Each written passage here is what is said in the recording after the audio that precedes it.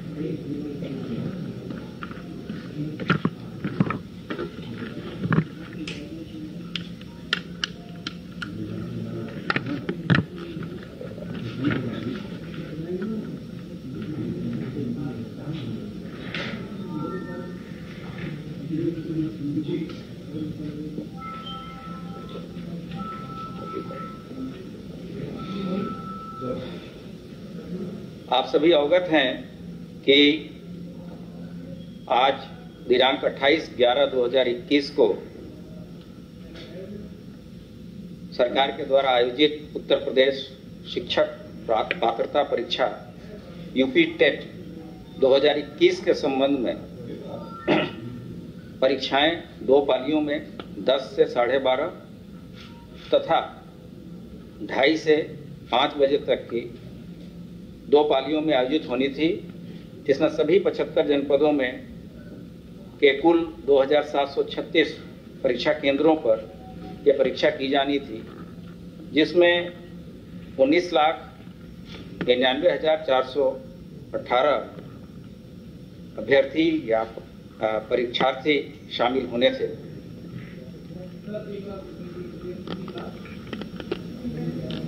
उन्नीस लाख निन्यानवे हज़ार चार सौ अठारह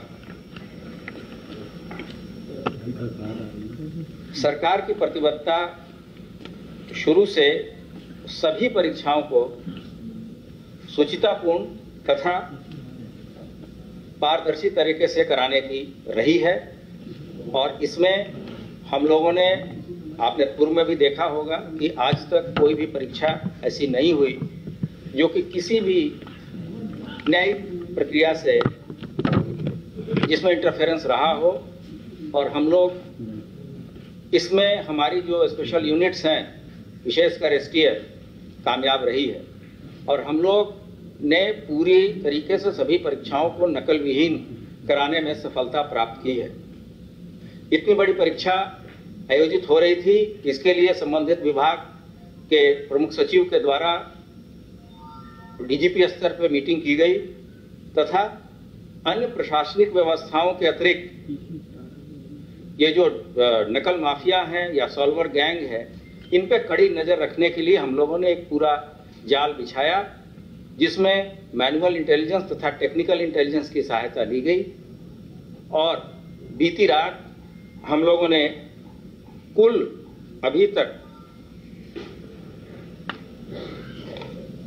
तेईस व्यक्तियों को गिरफ़्तार किया है, विभिन्न उत्तर प्रदेश के विभिन्न शहरों से।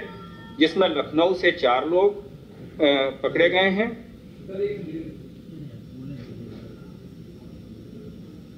मेरठ एसटीएफ की टीम के द्वारा तीन लोगों की, को गिरफ़्तार किया गया है। एसटीएफ वाराणसी और गोरखपुर के द्वारा भी दो व्यक्तियों को पकड़ा गया है। जनपद कौशाम्बी से एक व्यक्ति गिरफ़्तार हुए हैं। तथा प्रयागराज से तेरह व्यक्तियों की गिरफ्तारी हुई है। इनके पास से कुछ फोटोकॉपी पेपर्स के मिले हैं, मिले थे, जिनको हम लोगों ने शासन के साथ शेयर किया और ये बात प्रकाश में आई कि ये प्रश्न पत्र वही हैं जो कि परीक्षाओं में आने वाले हैं। तत्काल शासन स्तर से इस पे निर्णय लिया गया कि जो सुचिता और पारदर्शिता का जो बेसिक कंसेप्ट है, उसको मद्देनजर रखते हुए हम लोगों ने, शासन ने निर्णय लिया कि ये परीक्षाएँ स्थगित की जाती हैं।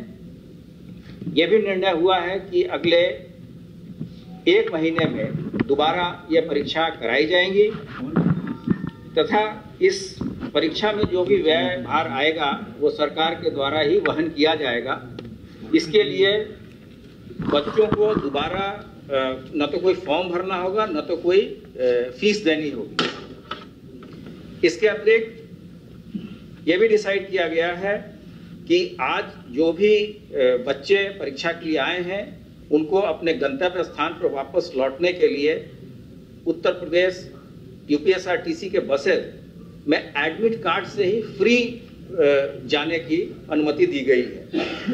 उनको कोई टिकट लेने की आवश्यकता नहीं है।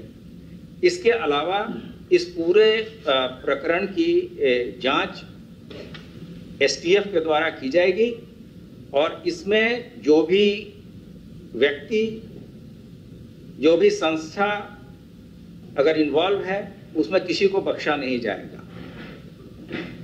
ये चीज़ ध्यान देने योग्य है कि जो प्रश्न पत्र हैं, जिस पर परीक्षाएँ होनी थी, अभी तक वो केंद्रों तक नहीं गई थी, उसको आज सुबह जाना था। तो अभी तक की चेन से जहाँ तक जिस संस्था ने ये परीक्षा जिसको आयोजित करना था, उससे लेकर और ट्रेजरी तक, जिसका भी इसमें इन्वॉल्वमेंट होगा, उन व्यक्तियों के विरुद्ध कठोर कार्रवाई की जाएगी। और जो चीज़ें बरामद की गई हैं उसमें कुछ मोबाइल फ़ोन हैं और पेपर के फ़ोटो फोटोकॉपी हैं और इसमें उत्तर प्रदेश के अलावा बिहार के भी ए, ए, कुछ व्यक्ति पकड़े गए हैं और इसमें दो तरह से चीज़ें की जाती हैं। या तो सॉल्वर गैंग के द्वारा पेपर लीक कराया जाता है या किसी अन्य सॉल्वर को बिठा के ये परीक्षाएँ दी जाती हैं। तो जो कठिनाइयाँ बच्चों को हुई है, उसके मद्देनजर सरकार ने ये कदम उठाए हैं। लेकिन जो सबसे बड़ी बात है कि हमारी जो परीक्षाओं को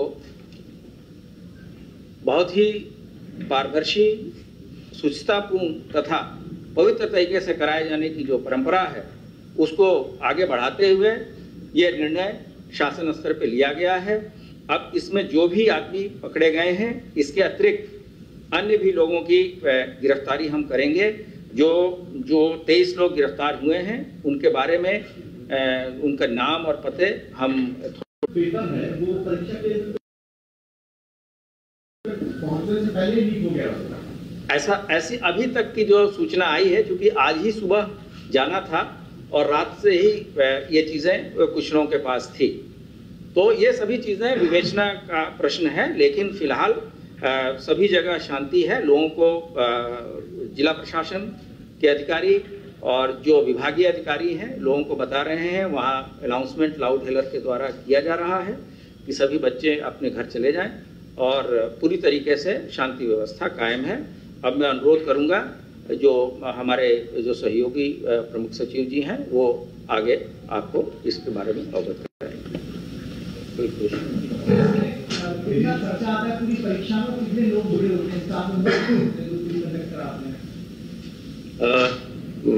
इसमें परीक्षा नियामक प्राधिकारी हैं जो प्रयागराज में बेस्ड है।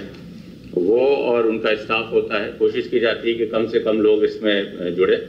और एजेंसी की भी सिक्रेसी रखी जाती है कौन सी एजेंसी है?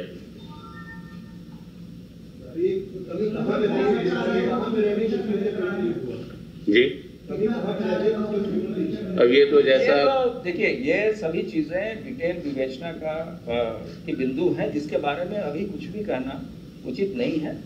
अभी जितनी चीज़ें थी और जैसे आपने देखा कि शासन की तरफ़ से सभी तरह की व्यवस्थाएँ कराई गई थी जैसे वहाँ सीसीटीवी के की भी व्यवस्था थी कि जो भी परीक्षार्थी देंगे उसका सीसीटीवी कवरेज भी होगा। तो सभी व्यवस्थाएँ की गई थी, लेकिन यहाँ कुछ ऐसे गैंग हैं जो बराबर कोई भी परीक्षाएँ होती हैं तो उसमें इस तरह के डिस्टर्बेंस करते हैं। कभी कभी ये भी देखा गया है कि गलत पर्चा भी लीक कर देते हैं। तो जैसे ये पर्चे लीक हुए थे, उसको हम लोगों ने शासन के साथ शेयर किया, उन्होंने इस चीज़ों को तस्दीक कराया तो पाया गया कि उसमें से प्रश्न कुछ ऐसे थे जो कि परीक्षा में आने वाले थे। तो इस बेसिस पे शासन ने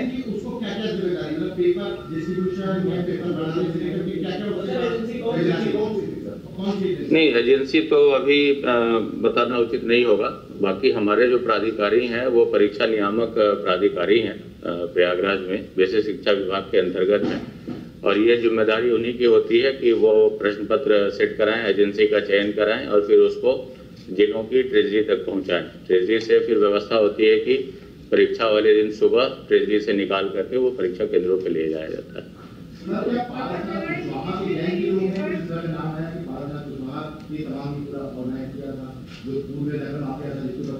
इस पे मैंने आपको बताया कि इसमें कुछ दूसरे प्रदेश के भी लोग आए हैं। और इतनी जल्दी इतनी चीज़ों को बताना संभव नहीं है। फ़िलहाल जो प्रारंभिक सूचनाएँ थी बता दी गई हैं लेकिन ये मैं आपको आश्वस्त करना चाहूँगा कि इसमें कोई भी व्यक्ति अगर ऑर्गेनाइजेशन इन्वॉल्व है मैंने आपको बताया या कोई व्यक्ति इन्वॉल्व है सभी पे कठोरतम कार्रवाई की जाएगी। सर आप सर आप एक महीने बाद कब डेट कब अनाउंस होगी। डेट? ये मैडम जैसा आपको बताया गया कि ये देखा जाएगा कि अगर एजेंसी ही कॉम्प्रोमाइज है तो हो सकता है शासन एजेंसी बदलने के बारे में निर्णय ले कहाँ से ये चीज़ें निकली हैं इन चीज़ों को देखने के बाद ही चीज़ें डिटेल्ड सम्यक विचारोपरांत शासन के द्वारा ये निर्णय लिया वो हम लोग जल्दी बताएँगे हाँ। ये भी देखना होता है कि इतने सारे अभ्यर्थी हाँ। और उन डेट्स में जो परीक्षा केंद्र निर्धारित किए गए हैं वो फ्री है या नहीं है क्योंकि बहुत सारी परीक्षाएँ चलती रहती हैं तो उनको देखते हुए हम लोग एक माह के अंदर ही पुनः परीक्षा कराएँगे। के को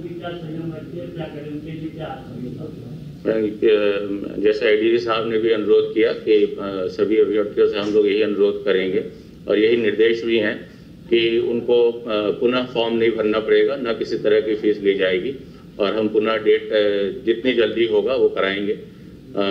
आप अवगत हैं कि टीईटी की परीक्षा पिछले वर्ष भी कोविड के कारणों से नहीं हो पाई थी इसलिए हम लोगों ने इस वर्ष ये कराया था और ये घटना हो गई है तो हम लोग एक माह के अंदर पुनः इसको संचालित करेंगे। है? तो हैं?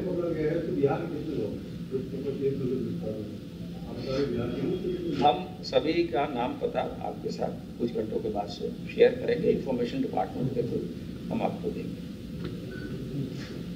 लेकिन ये जो सबसे महत्वपूर्ण चीज़ है कि शासन के द्वारा इस पर तत्काल निर्णय लेते हुए कि परीक्षा की पवित्रता और शुचिता में आज न आए और जिस तरह से अभी तक की सभी परीक्षाएँ हुई हैं उसी तरह हम आगे भी कार्रवाई करेंगे और नकल माफिया जैसे अन्य माफियाओं की कमर तोड़ी गई है, नकल माफियाओं की भी कमर तोड़ी है।